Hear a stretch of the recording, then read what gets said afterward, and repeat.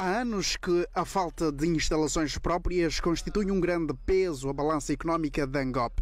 Segundo o PCA da agência Angola Press, mensalmente são pagos cerca de um milhão de kwanzas de renda à ENSA, empresa detentora do espaço onde atualmente funciona a sede nacional da Angop em Luanda.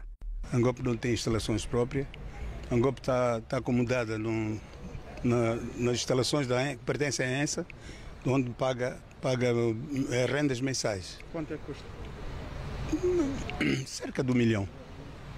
Portanto, e, e, e isto, isto atrapalha porque a agência tem, um, um, tem uma matriz de funcionamento que, que, não, não, não, não, se compadece com as instalações que, que nós estamos. Estamos muito mal acomodados para fazermos funcionar todos, portanto, tudo aquilo que nós, nós podemos fazer portanto, para servir o país. O problema já é de domínio do Ministro das Telecomunicações, Tecnologias de Informação e Comunicação Social.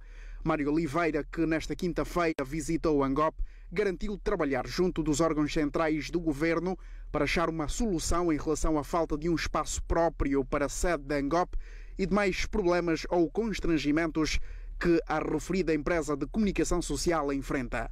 Estaremos seriamente empenhados com os órgãos centrais do governo em trabalhar no sentido de criarmos melhores condições físicas, até porque as condições tecnológicas da Angola são muito boas nesse momento.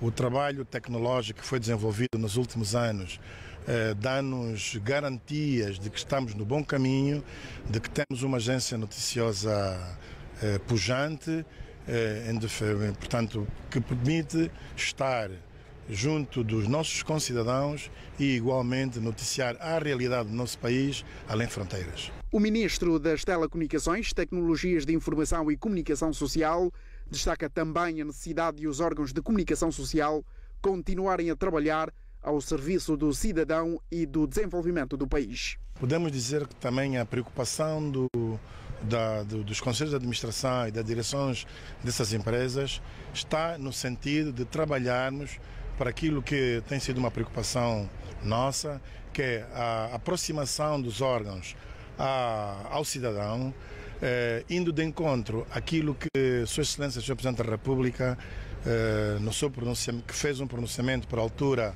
da tomada de posse do governo, quando falar em trabalhar mais e comunicar melhor. E temos passado a mensagem para que os órgãos comuniquem cada vez melhor, estejam ao serviço do cidadão, ao serviço do país, ao serviço do desenvolvimento, para atingirmos aquilo que é o bem-estar do nosso país.